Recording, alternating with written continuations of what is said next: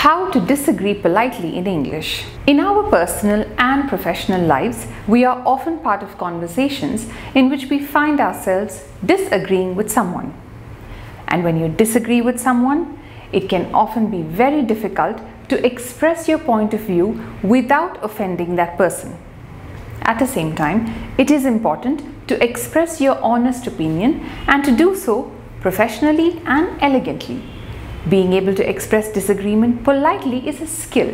In this video, we will look at six different ways to disagree politely in English.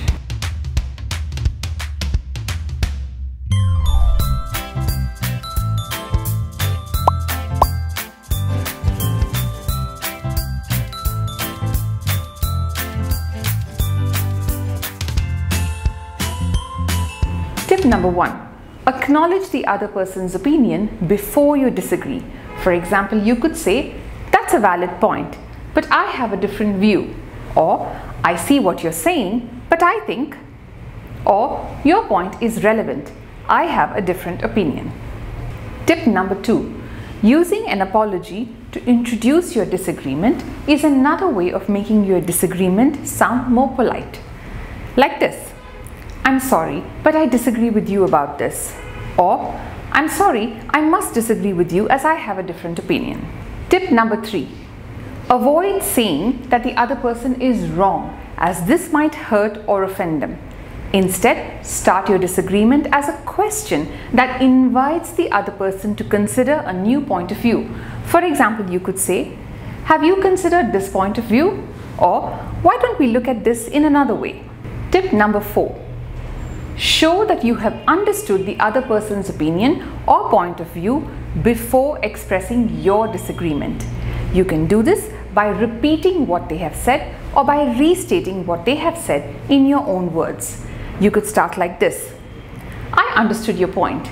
You said, and then follow it up with your point. Tip number five use specific transition words to signal disagreement.